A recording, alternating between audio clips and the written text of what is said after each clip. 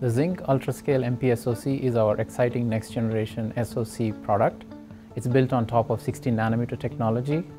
Inside the Zynq UltraScale MP-SoC, you will find heterogeneous integration, which has the right engines for the right tasks.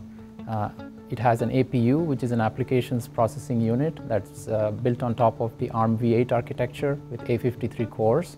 It has a real-time processing system built on top of the R5 processor cores. We also have graphics and video functionality. The graphics functionality is built on top of the ARM Mali GPU. It's different from Zynq 7000 in that it takes compute and memory performance to a whole new level. It introduces heterogeneous engines that are capable of doing different things relative to Zynq 7000.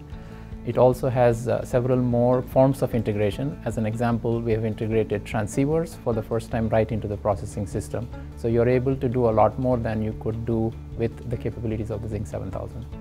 And we've also done a number of other things. Uh, we're bringing in a lot more integration that allows you to manage power at the system level and is optimized for delivering power sensitive applications seamlessly with this device. Uh, we are introducing such things like power islands. Uh, we have an integrated power manager that uh, allows you to control what engines need to be turned on or off specifically for your applications.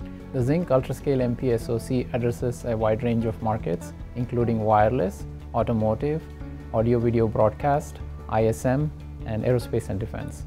So the range of these innovations is, is just very exciting. I think what you're going to be able to do this, this product line is uh, going to be a lot more than what we could achieve with the Zynq 7000 line.